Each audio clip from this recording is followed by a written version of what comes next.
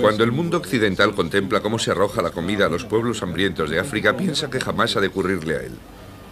Pero existe un hombre en Australia que dice que esa amenaza planea sobre nuestras cabezas. Peligro de escasez de comida. Considero que si el hombre puede mantener la Tierra en una situación óptima y no en un proceso constante de degradación provocado por nuestras acciones, hemos conquistado el derecho a viajar hasta las estrellas. Pero por ahora no creo que seamos bien recibidos en ningún lugar del universo. ¿Quién recibiría en su domicilio a una persona que ha destrozado su propia casa?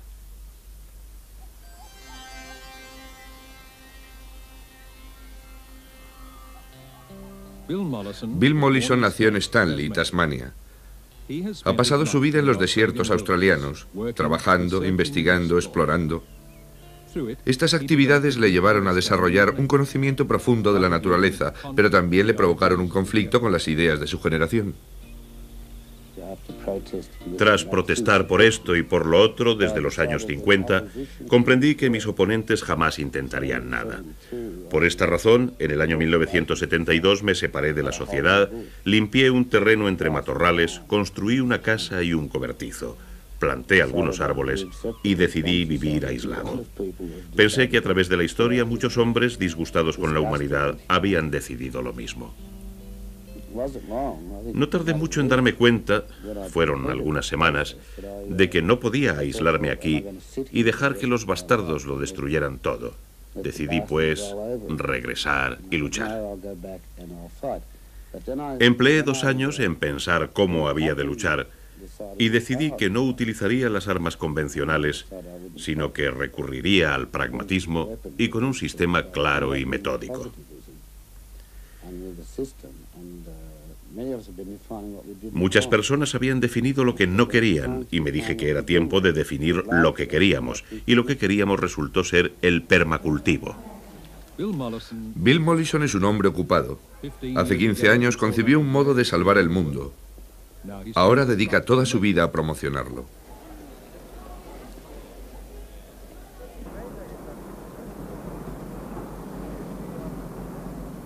En 1982 saltó a la fama al serle concedido el Premio Nobel Alternativo y ahora viaja por todo el mundo para dar a conocer lo que es el permacultivo.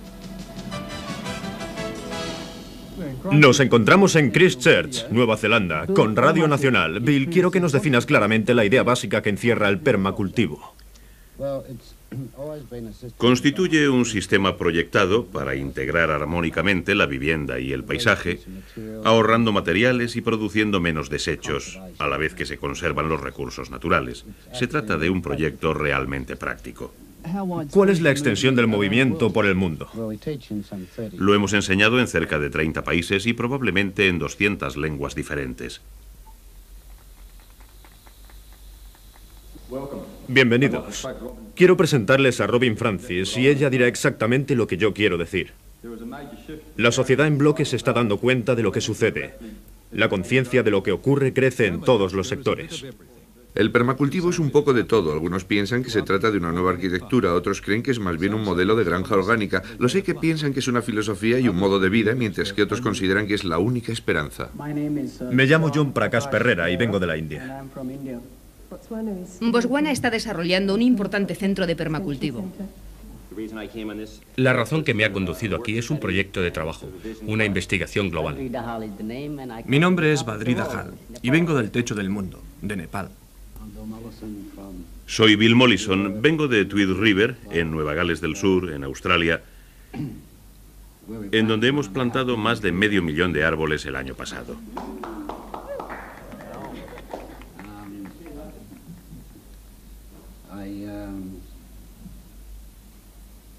Como sabéis, yo fui quien probablemente comenzó este movimiento o como queráis llamarlo.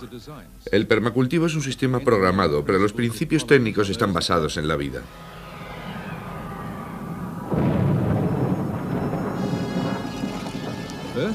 La Tierra envuelta en polvo y gas, bañada en la energía de un horno de hidrógeno llamado Sol.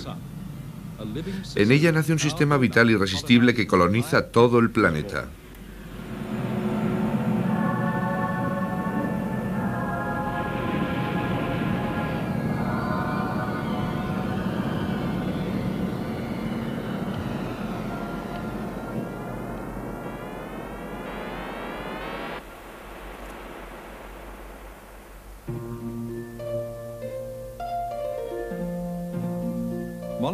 Mollison observa este proceso y encuentra en él un modelo.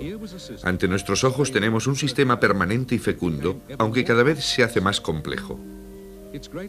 Es impresionante encontrarse en medio de un bosque. Estos hayedos antárticos tienen más de un billón de años. Existían en Gondwana, el antiguo continente que estuvo formado por Australia y América del Sur. Gracias a los millones de especies distintas que existen en ellos, han perdurado hasta nuestros días. Esta complejidad los hace adaptables y productivos.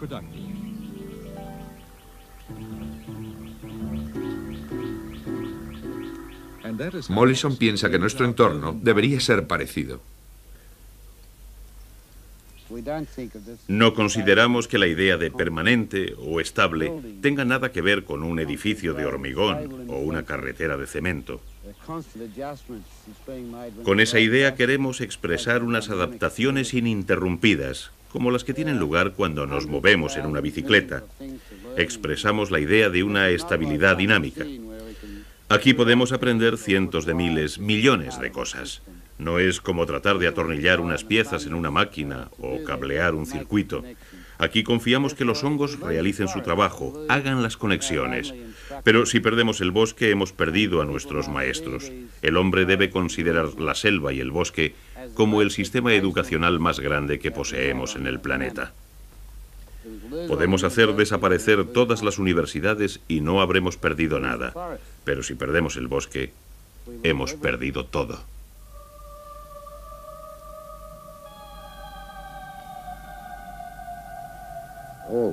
Todos los reyes y sistemas políticos que conozco han convertido las naciones enteras en un desierto.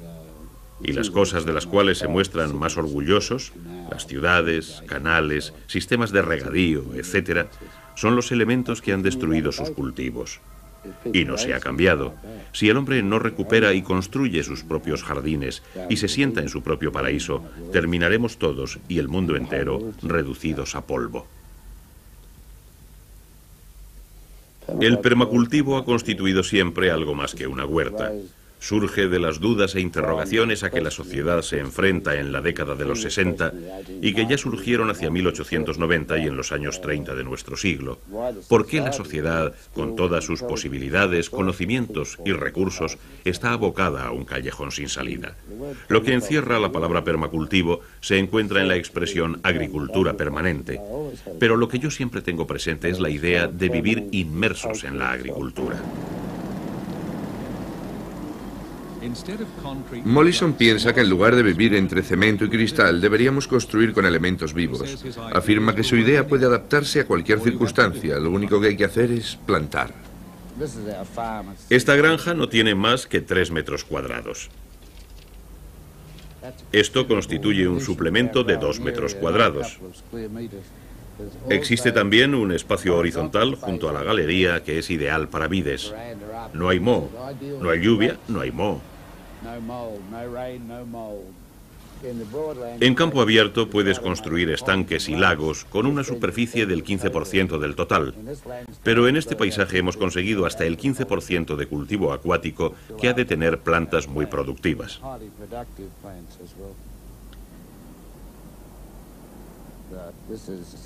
Esta es acedera, buena en vitamina C.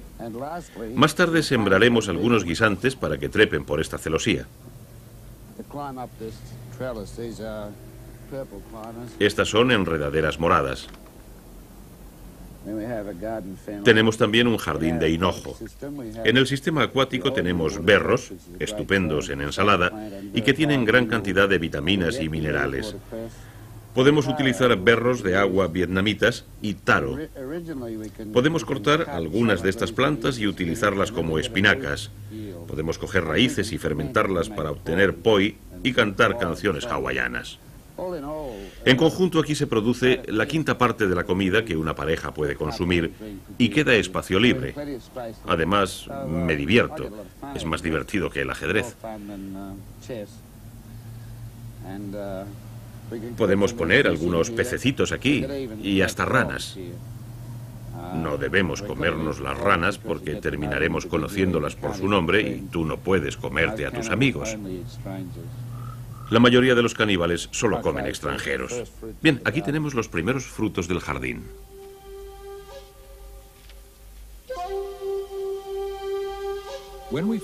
Cuando por primera vez pisamos este planeta, nos desenvolvimos con nuestro ingenio, cazando y recolectando. La comida la tomábamos en abundancia del entorno y aprendimos a vivir con el medio natural en que nos movíamos.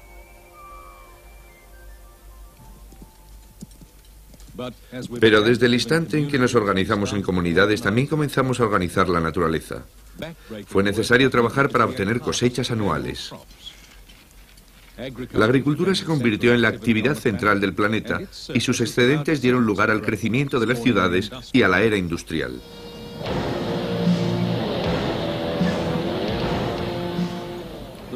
Las máquinas se desplazaron hacia las granjas y los agricultores hacia las fábricas. Pero hubo que ampliar las zonas cultivables ante el incesante crecimiento de la población urbana.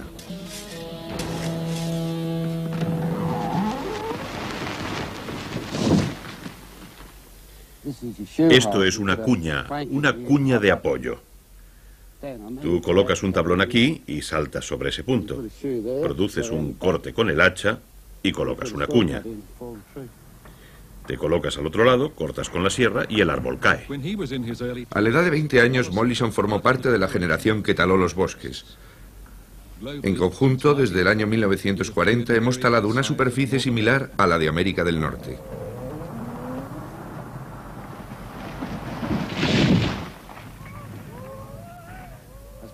Pasé tres años cortando árboles.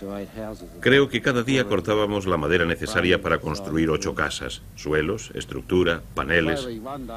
Un día se me ocurrió durante el almuerzo preguntar a mis compañeros si alguno tenía casa, y ninguno teníamos. De pronto se me ocurrió que estábamos destruyendo las cosas para el resto de la sociedad, y me preguntaba cómo era posible que no fueran ellos los que se construyeran sus propias casas. Desde entonces decidí no volver a cortar un árbol. Aquí ves el caos que puedes producir cuando no piensas las razones de lo que haces.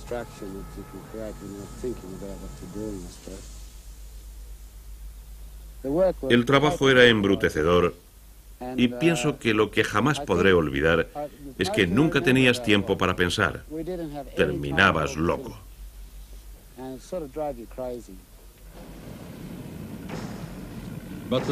Pero las máquinas prometieron terminar con el trabajo absurdo y el monocultivo se convirtió en el método nuevo de producción.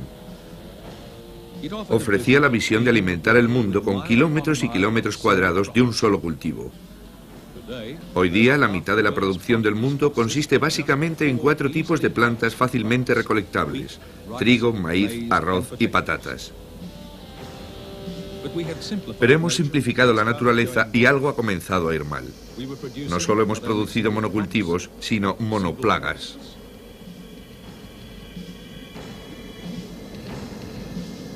La batalla comenzó. El agricultor se vio obligado a defender sus campos del ataque de la enfermedad y los parásitos.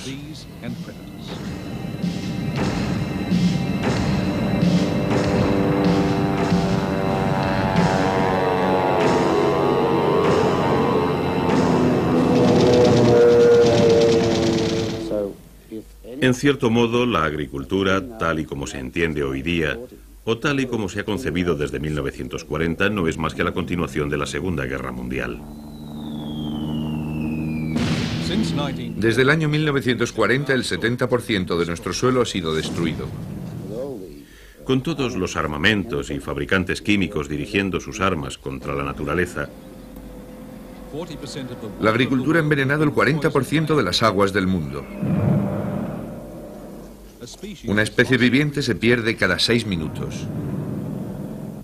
Nada es tan destructivo. Si no detenemos la agricultura, moriremos.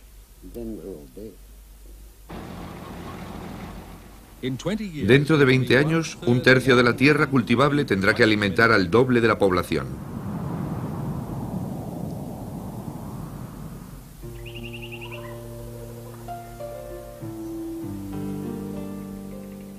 En 1954, Bill se convirtió en consejero investigador para el Centro Científico CSIRO y vivió durante nueve años en plena naturaleza estudiando el sistema ecológico del bosque. En 1966 retomó los estudios normales y más tarde fue destinado a la Universidad de Tasmania. Durante más de 15 años adquirió un conocimiento práctico muy grande sobre los bosques. Observando los sistemas forestales me di cuenta de que su productividad era cientos de veces superior a los sistemas agrícolas creados por el hombre. De aquí que pensara en crear bosques con componentes de los animales y plantas y que fueran más útiles para nuestro uso. La productividad sería entonces superior a la del bosque natural y las cosechas serían también más importantes que las producidas en una granja comercial. Pero hasta los años 72 o 75 no se me impuso la necesidad de actuar y crear algo que definimos como permacultivo. Pero puedes llamarlo como quieras. Se trata de la aplicación de las cosas que observas a los sistemas que quieres crear.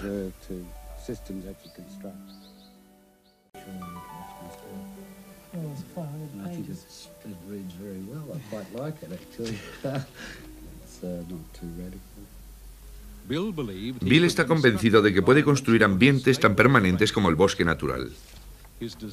En sus proyectos se integran en un sistema vivo las casas, las plantas y los animales. Comienza al otro lado de la puerta. Cada zona está constituida por un conjunto de especies que se regulan entre sí y que prácticamente no necesitan mantenimiento. Cada elemento tiene varias funciones. Un obstáculo puede ser un conducto de aire o reflejar la luz del sol para calentar las plantas. En 1978 publicó su manifiesto El permacultivo. Después se publicaron otros dos manuales de proyectos sobre el medio ambiente y sus trabajos se han traducido a siete idiomas. Yo no estaba preparado para lanzarme a estudiar proyectos de granjas, aparte de que me aterrorizaba la idea de proyectar para los demás. Estuve haciéndolo gratis durante algunos años, algunos tres. Y solo cuando hube proyectado unas 300 granjas y vimos que el resultado era maravillosamente positivo, me sentí con capacidad para enseñar. Hasta ese instante no se me había ocurrido enseñar a proyectar. La Tierra, todo lo que abarca nuestra mirada, no produce nada. ¿Y qué voy a hacer con ella? Solo se trata del tipo de bosque que hay que elegir. A largo plazo podemos tener madera de gran calidad.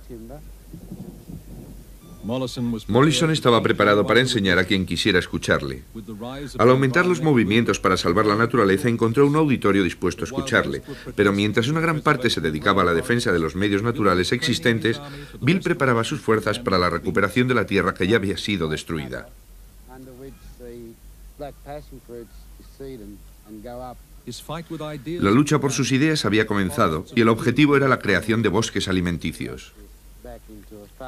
En las facultades especializadas hubo una reacción inmediata de horror y oposición, y puedo decir que en conjunto todo el claustro de profesores especializados se lanzó contra mí. Se me invitó a hablar a los estamentos científicos con la única finalidad de destrozarme. Yo estaba pisoteando sus enseñanzas. El permacultivo se mueve siempre entre especialidades diferentes. Constituye un sistema que abarca varias ciencias.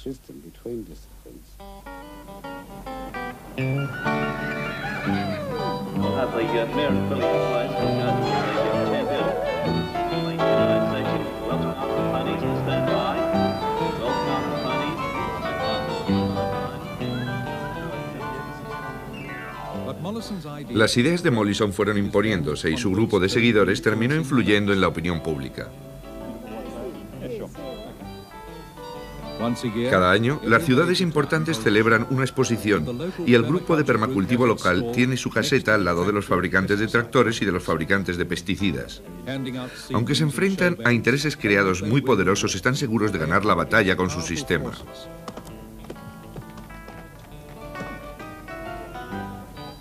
La agricultura constituye el eje cultural y económico del país desarrollado.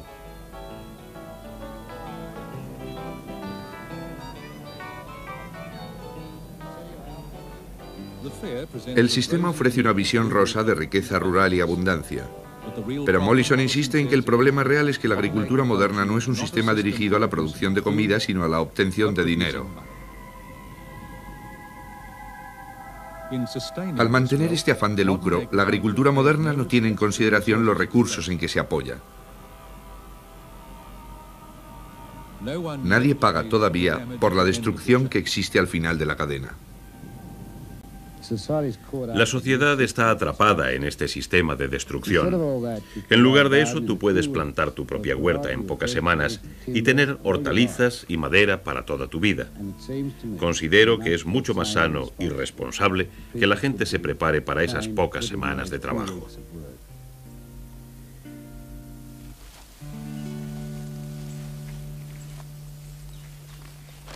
Esta es la senda de las patatas del hombre que piensa. Desprecia el suplemento del periódico del sábado y convierte la desinformación en comida. Es la mejor utilización de la publicidad. Esas informaciones, informaciones malas, se convierten un día de este modo en buenas noticias.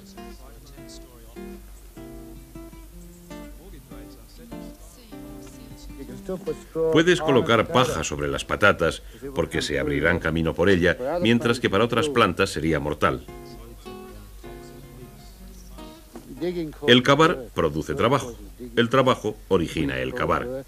Las malas hierbas exigen la azada. El cavar produce los hierbajos, causa y efecto, un círculo vicioso. Las capas de paja imitan el manto de desechos del suelo del bosque. Retienen el agua al impedir la evaporación y también controlan las malas hierbas.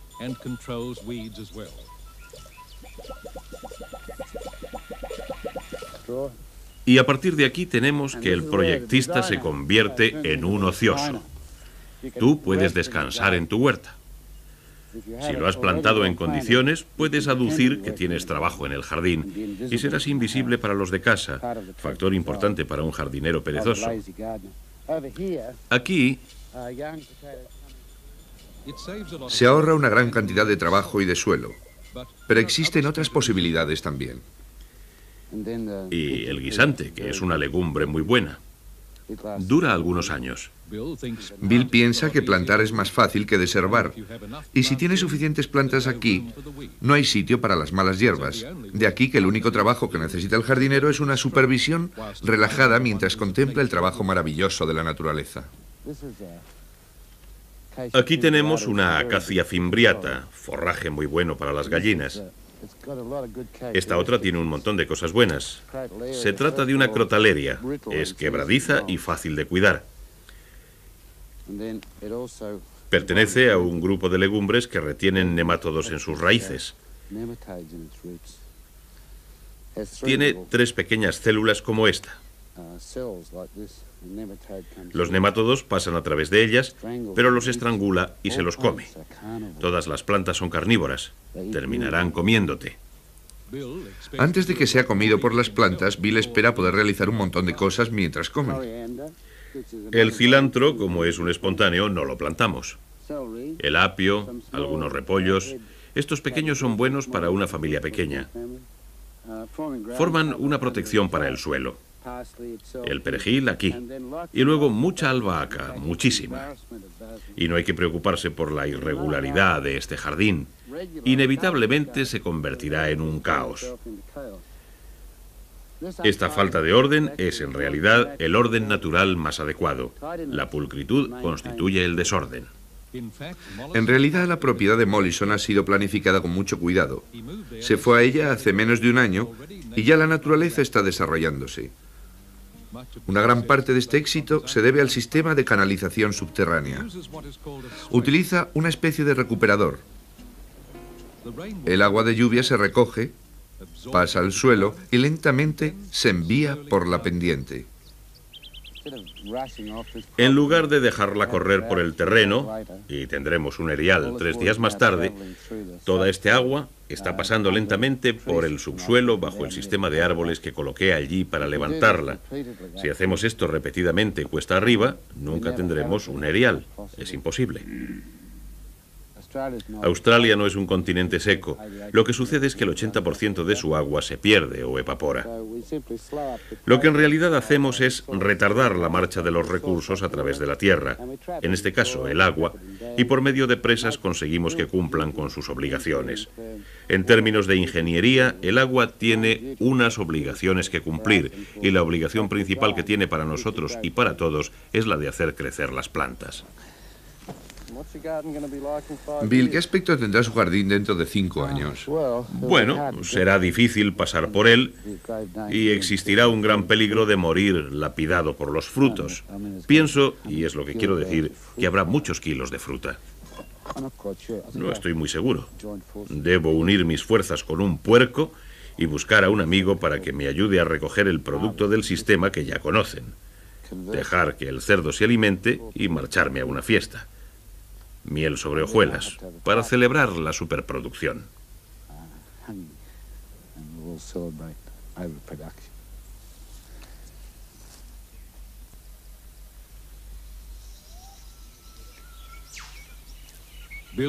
Bill espera que su jardín se haga tan tupido como este bosque.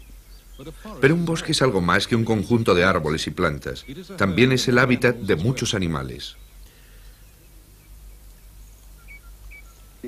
Puedes considerar un animal como una parte móvil del bosque, no es algo separado de él. Los pichones vienen al bosque y comen sus frutos de lo alto de los árboles y los llevan fuera del bosque y de este modo lo amplían. Por lo tanto, los pichones son plantadores y un sistema de ampliación de este bosque. El wallaby no puede existir sin los hongos, los hongos sin el árbol. El árbol no puede existir sin los hongos ni el wallaby. Es un círculo.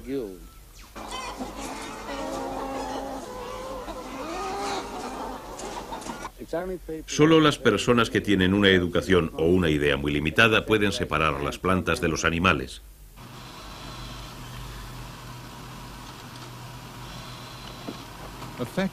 En una granja mecanizada, el pollo vive en una jaula de alambre, reacciona con una máquina automática de alimentación y termina en un horno. Es una vida frustrante. Para Bill el trauma no es solo para los pollos. Nosotros nos perdemos cuando vivimos separados de los animales. Ve nuestra salvación haciendo que las gallinas regresen a casa, donde pueden ayudarnos en nuestras tareas.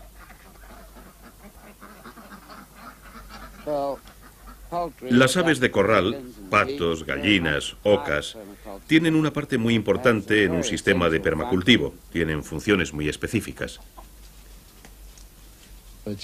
La gallina en un jardín de permacultivo hace el oficio de una máquina trituradora. Ejecuta un control de enfermedades al comer los frutos podridos y las larvas de los insectos que los infestan. En contraprestación, la gallina recibe todo lo que necesita, protección, compañeras y comida. Y nada de lo que hace es contrario a su naturaleza.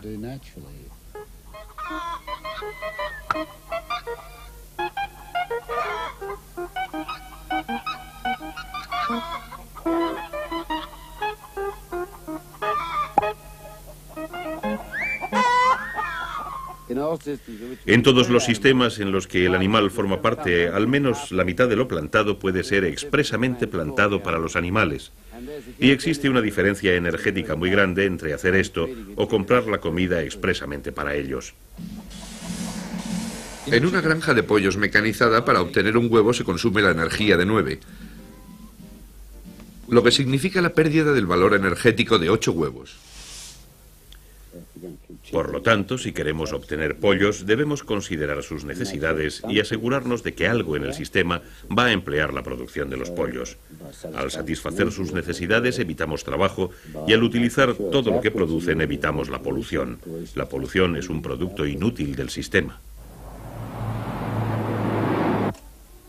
Millones de toneladas de comida llegan cada día y los habitantes de la ciudad no tienen ni idea del lugar de procedencia. Todo lo que hacemos es pagar por ello. En términos de costos de energía, la comida debería ser cerca del 95% más barata. Dije 95% si lo cultiváramos en la ciudad de Nueva York, porque solo en su distribución perderemos el 13%. Pero ese 95% que señalamos incluye el transporte a Nueva York o empaquetado y la retirada de los productos deteriorados.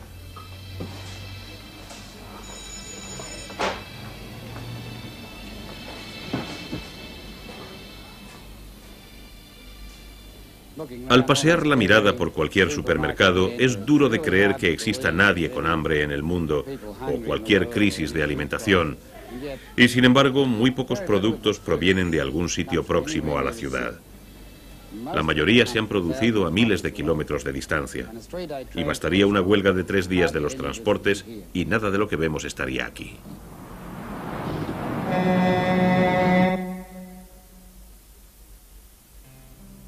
La solución de Bill es producir la comida donde se vive. ¿Es una utopía? En un patio trasero de una barriada, uno de los primeros proyectos de Mollison está madurando. La tierra abarca una superficie de un cuarto de acre y la casa constituye un ejemplo estupendo de sus ideas. Aquí encontramos cada cosa en su sitio.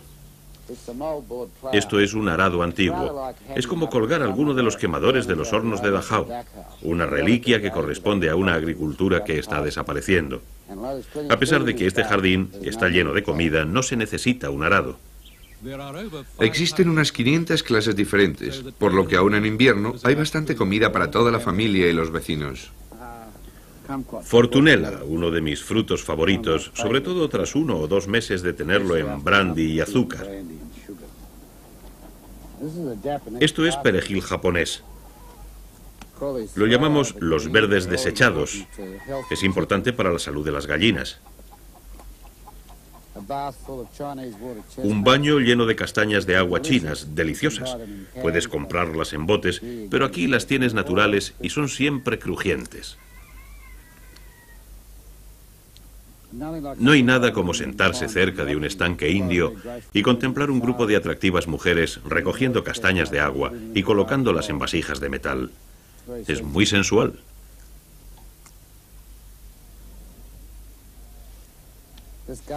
Este jardín tiene una gran variedad de especies y en cualquier época del año algo florece. Tenemos lavanda, y por todo el jardín existen colmenas, por lo que durante el invierno puedes ponerte bastante alegre con licor de hidromiel.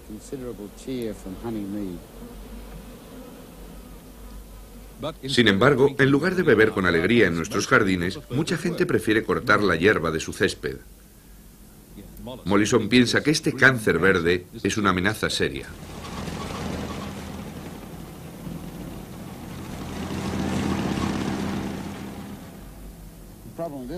El problema con esta plantación es que, a pesar de todo, necesita más trabajo de lo que consideramos lógico para el cultivo de alimentos. Y no tiene ninguna utilidad. El costo de mantenimiento se eleva a 4 dólares por 30 centímetros cuadrados al año, sin contar el precio del combustible, la mano de obra y la tarea de conservar en la ciudad estas extrañas creaciones que nadie realmente utiliza. Bueno, si fuera un buen guerrillero urbano, comenzaría una revolución plantando un avellano en el césped.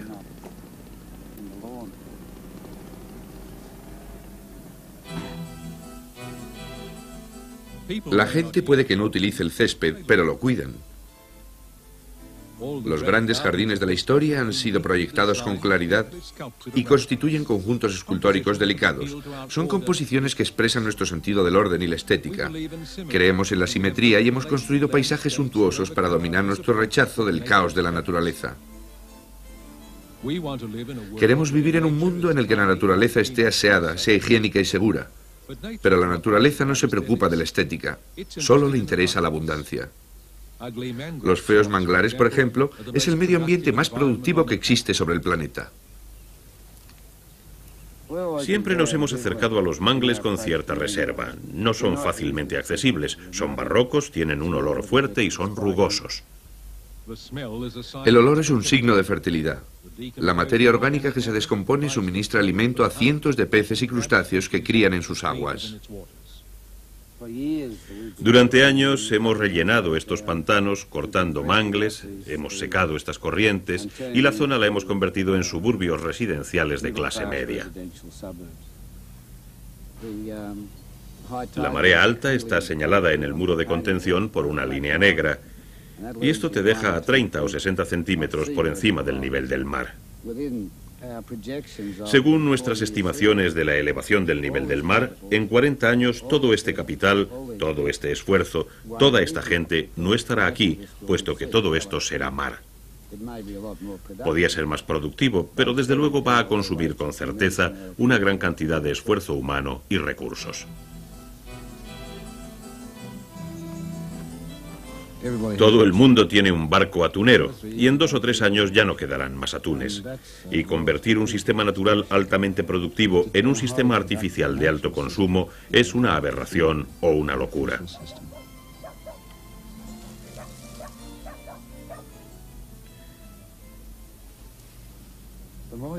Cuanto más se mueve uno en torno a lugares como este, más surrealistas son. El césped está dando lugar a astroturf. Existen montones de televisiones en esta barriada. Creo que deben de estar viendo películas de la vida en la selva. Y existen vehículos todoterreno de cuatro ruedas motrices que pueden llevarte hacia la selva. Es como pensar que están buscando lejos lo que delante de sus narices está desapareciendo progresivamente.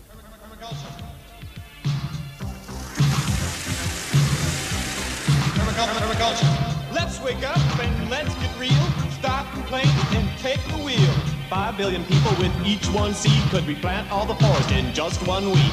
Plant a garden and recycle your waste. It'll really grow. You do it in your own little space. Daikon.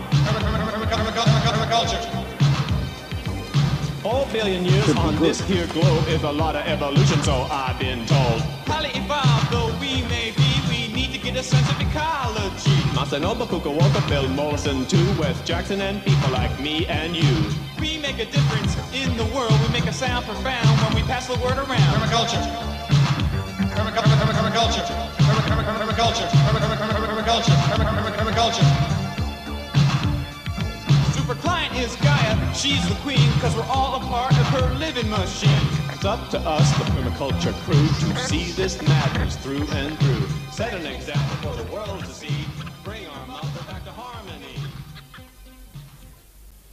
Uno de los peligros más graves al que nos enfrentamos es que en estos instantes estamos jugando con la estructura genética de las cosas. Uno de los ejemplos más claros es el tratar de evitar que se hielen las fresas.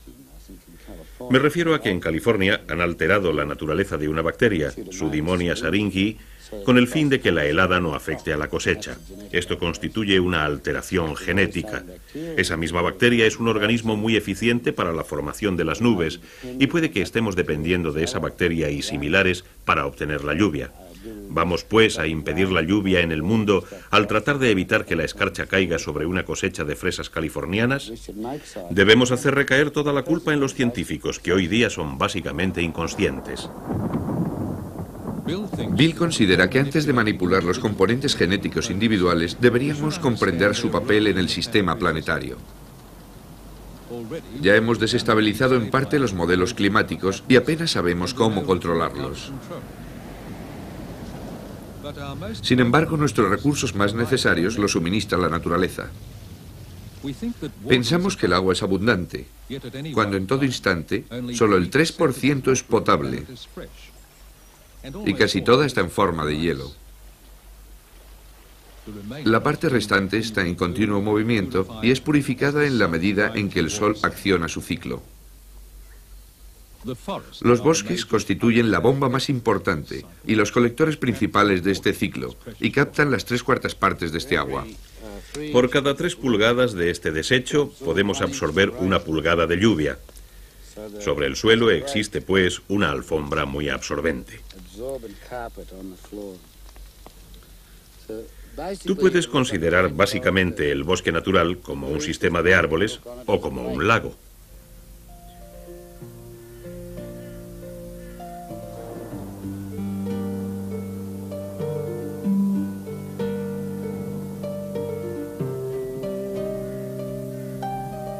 El bosque cede el agua al aire y lo vuelve a humedecer. De aquí que sea un generador de nubes.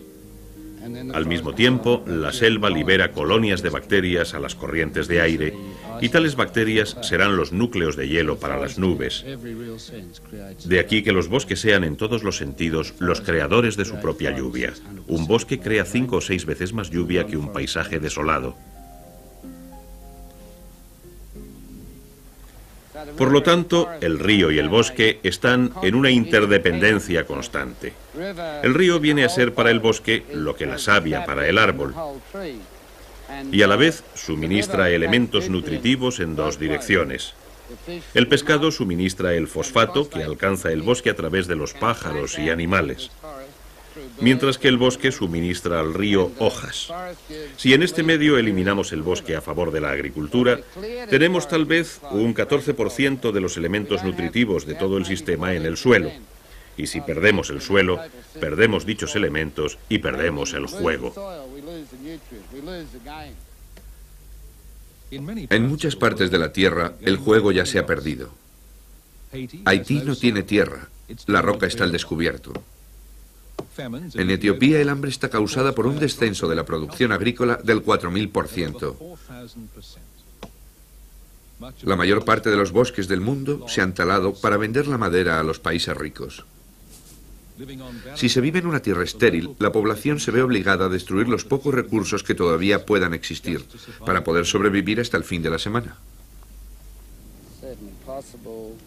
Nos es posible extender el bosque sobre superficies históricamente asoladas por nosotros.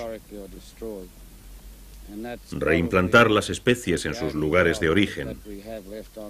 Tener conciencia de nuestro sitio en la Tierra un pequeño lugar dentro del sistema total, constituye quizá el único trabajo que como legado podemos dejar sobre la Tierra para expresar nuestra humanidad. Este proceso ya comenzó en una granja de Southern Queensland. El lugar, en otro tiempo destrozado y erosionado, ha sido de nuevo viable comercialmente gracias a un sistema de permacultivo a gran escala. No solo se produce todo tipo de frutos, sino que se han obtenido maderas exóticas perdidas hacía tiempo. La tierra ha sido dotada de estanques y canales, habiéndose instalado entre ellos cultivos acuáticos. Las especies nativas coexisten con cultivos comerciales. La vida de los estanques es solo una parte de las miles de especies que se introducirán en la propiedad. Ha vuelto a instalarse el bosque natural y la vida animal que atrae constituye una aportación a la fertilidad. El proyecto es plantar aquí estas pequeñas palmeras y helechos para formar un amplio pasillo. Algunos pájaros del bosque natural, como el megápodo, el pavo silvestre, ya están acudiendo.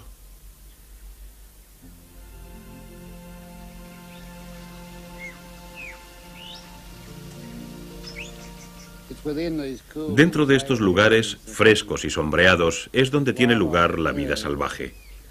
Puedes notar las ratas de agua a lo largo del río. Hay grupos de comedores de miel que van a través de este espacio y con frecuencia puede verse la llegada de pichones del bosque. Los pequeños canguros están próximos y pronto se atreverán a introducirse por todo el sistema de la granja. Y para nosotros es maravilloso encontrarnos sentados aquí, un sitio fresco y con sombra, cuando hace tanto calor fuera.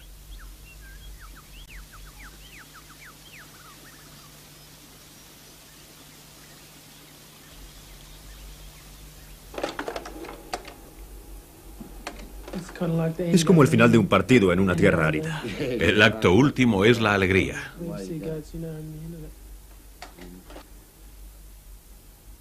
Mollison se ve obligado a acudir constantemente a la línea de fuego de los problemas del medio ambiente, el tercer mundo, en donde trabaja con las organizaciones de permacultivo locales.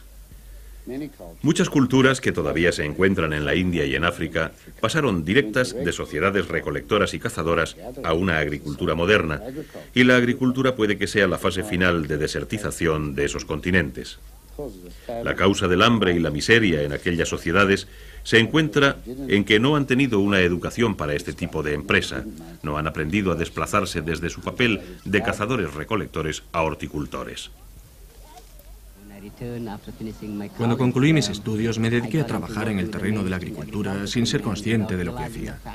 Entonces oí hablar de Bill Mollison y sus trabajos y publicaciones, y caí en la cuenta de que no era honrado conmigo mismo, ni con el país, ni con mi gente.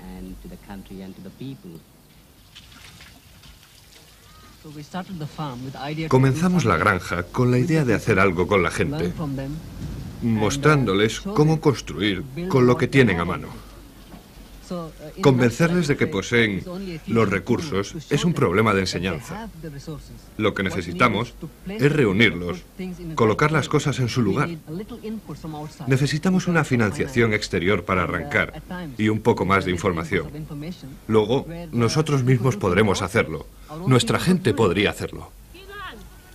Mollison ha inspirado proyectos en África, Asia y América Latina. Mientras que muchos consideran que esto es un programa de ayuda caritativa, Bill piensa que son modelos que el viejo mundo necesitará cuando nos llegue a nosotros la hora. Lo importante en la India y en Nepal es que tienen experiencia, historia y tradición. Y es necesario adoptar la experiencia y conocimiento de estos pueblos para el viejo mundo, en donde pueden enseñar a la gente a defenderse por sí mismos, a alimentarse y a ahorrar energía. Muchos proyectistas del permacultivo han aprendido estas habilidades. Max Lindegger es el arquitecto de Crystal Water, una comunidad completa proyectada según las directrices del permacultivo. Con un capital de 8 millones de dólares, espera conseguir un modelo para el futuro de comunidades.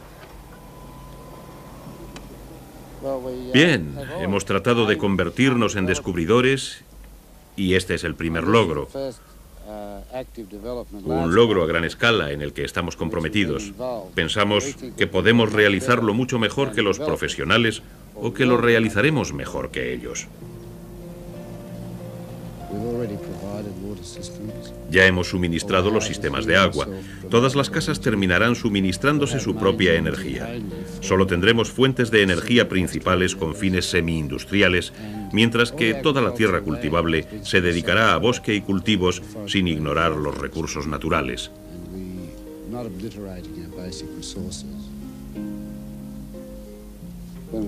Cuando por primera vez, en 1975, propuse el permacultivo, solo existía un modelo en mi patio. Hoy día existen, que yo sepa, miles, cientos de miles.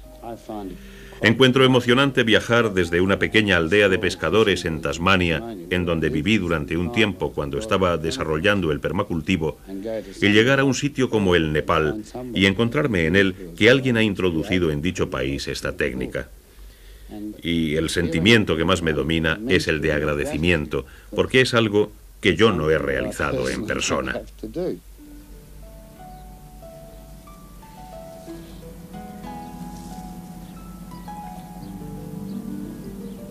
Ha llegado el momento de enfrentarse a la realidad y dejar de considerar esto como una actividad de apoyo.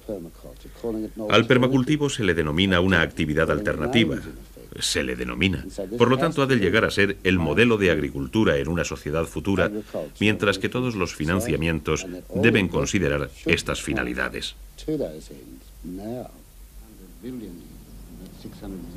600.000 millones en fondos éticos. Es hora de que se conciencie la gente para que se invierta éticamente en proyectos. Porque aunque tú seas un inversor y estés obteniendo montones de dinero en la bolsa con los insecticidas, tú, lo mismo que tu familia, sois de carne. Y como un africano me dijo en cierta ocasión, si Dios no hubiera querido que nos comiéramos a la gente, no los hubiera fabricado de carne. Bill considera el canibalismo con una chispa en sus ojos. No cabe duda que las direcciones que se siguen son malas. Es posible que la tecnología básica nos sitúe en el contexto exigido por nuestra propia naturaleza, pero se necesita una solución antes de que nuestra ventana hacia el mundo se cierre para siempre. Mollison está ofreciendo un paraíso. Bueno, estamos en el jardín del Edén. Este es un jardín plantado por Gahan Hilfeder hará unos seis o siete años. Lo concluyó hace tres años y desde entonces no ha necesitado prácticamente ninguna conservación. Estoy rodeado por una gran variedad de alimentos y comida autoprocesable. Es otro tipo de jungla. Antes no era más que un bosque aniquilado, superagotado por el cultivo de lantana.